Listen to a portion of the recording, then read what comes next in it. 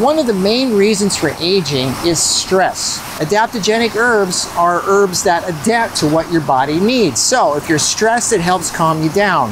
If you're low energy, it helps build up your energy.